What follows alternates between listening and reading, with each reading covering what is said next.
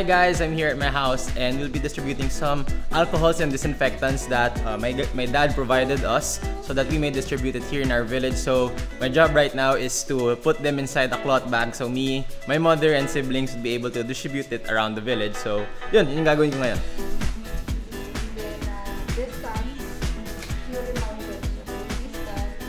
So we have here all of the the disinfectants and alcohols placed in a uh, what is this? Ano ba to? Sack. Rice sack. So yeah, ito yung uh, disinfectant na ibibigay namin. Nakalagay siya sa isang, I think this is 1 liter. And also we have um, the, where's that? Where's the alcohol? Ayun, these are the alcohols placed in this small bottle.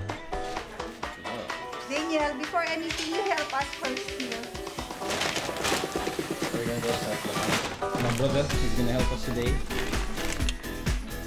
Yeah. So these are alcohols. We have two flavors. Ay, two colors. two flavors. Two colors. That's not the drink. First liquor. Dami. Is that heavy? Nope. So we're gonna put our mask also. We also change clothes kasi ang init. So mga kababayan, nandito po kami ngayon sa aming tahanan para mamigay ng alcohol sa ating kapwa Pilipino dahil nga po sa sa malubhang um, malubhang sakit na kumakalat ngayon. Pero yun nga, um, we'll be going around. Um, so probably we'll start dito kasi dito yung maraming bahay sa sa other other street. So game plan is Or just within the the subdivision. Yeah, within the Not- subdivision. yeah, Di we're naman we're, we're not going out. Mamimigay lang kami dito sa mga tao sa village. And kasi that's what we that's what what we have, yun lang yung amount na meron kami. Come on. Bang! Put it up. Put it here. On top. We'll distributing. Okay.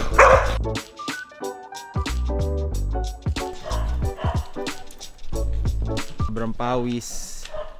Kamask ako and I'm carrying a uh, cloth bag full of alcohol. So alcohol muna distribute namin. Later yung disinfectant kasi malalaki siyang bottle, 1 liter yata. And mabigat siya buhatin.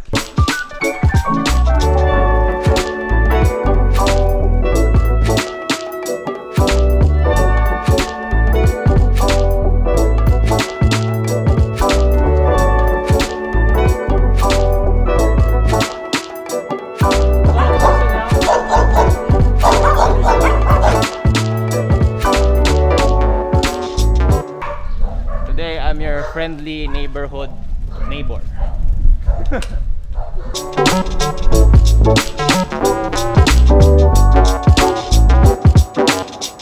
yung pack ko. Sa few more, madami pa. Marami pa sa bahay. Yeah, because everyone's inside the house. They don't like to go out. Aha. Kaya, yan. Kasi, and we don't want din naman iiwan sa labas. Kasi, Yeah. baka isipin nila, ano to. Yeah. Daniel, what can you uh, get out of this experience? uh, anxiety Why? talking to people Talking to people. we are here in our village uh, yeah sharing our blessings to those who are in need to the people of god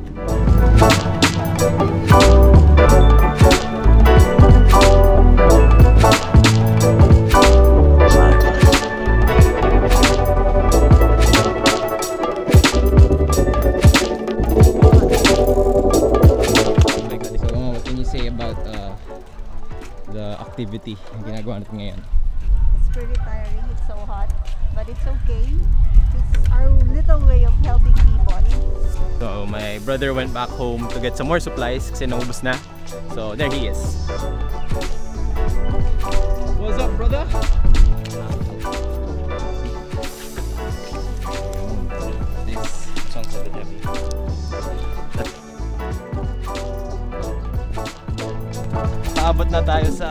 Arizona.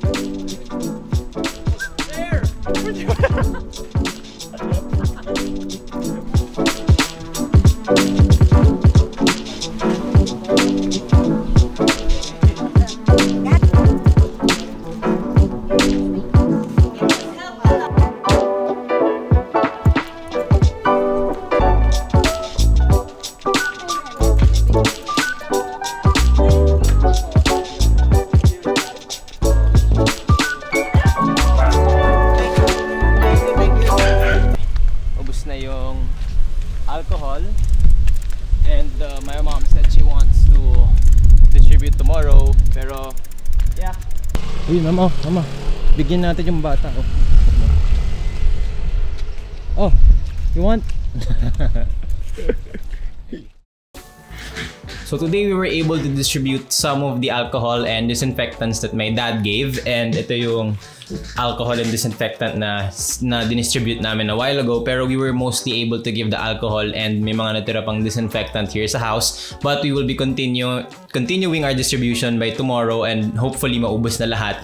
And ayun it was good to see na people were very welcoming and uh, thankful sila sa pagbigay namin ng mga alcohol especially sa times na ngayon na ubusan talaga every supermarket ubos na yung mga alcohol and as citizens we have the social responsibility of helping others when we can and it's a nice gesture to see you know people be very accepting and uh, thankful sa mga little things na binibigay namin and hopefully um, in our fight against this virus everyone will stay well and all of our frontliners be be very strong and um, healthy in trying to alleviate this current situation that we have. But that's about it. Thanks for watching. Like and subscribe, and see you in the next video. Peace.